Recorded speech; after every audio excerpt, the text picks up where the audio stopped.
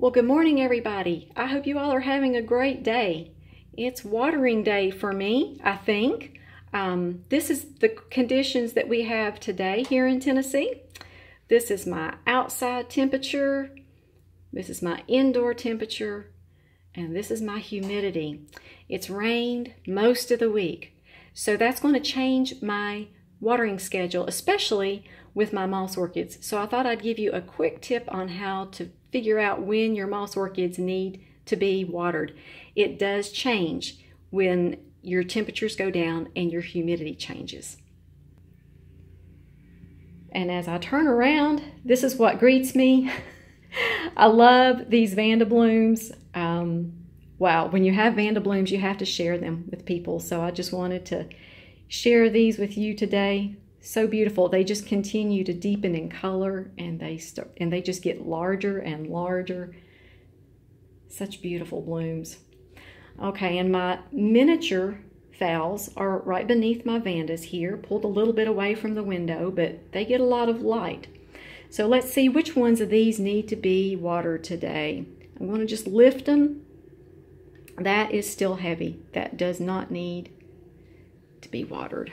Okay, how about this one? There's not as much moss in these little pots, so these you have to kind of keep an eye on.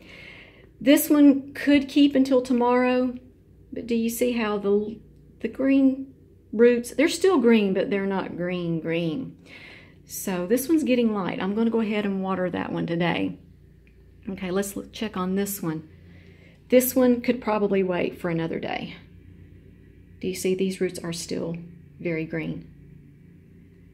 And it's not as light as this one. Okay, let's check on Buddy. Let's give him, oh goodness, no, that's, that's heavy. Still has plenty of water there. Okay, let's go around here to Legato. This one's heavy as well. When they need to be watered, you can tell because they get, the pots get really light. So you can just lift them up and see. Yeah, that one's very, very heavy. That one definitely doesn't need. How about Llewellyn Preppy Lip? Heavy as well. So you can also feel them, of course, with your fingers, but when you lift them up and they're heavy like that, there's still plenty of moisture in the pots. So I thought I would give you that quick tip today to see how often you need to water your moss orchids and how to check that. So you all have a great day and be highly favored, deeply loved, and greatly blessed. And we'll talk to you next time.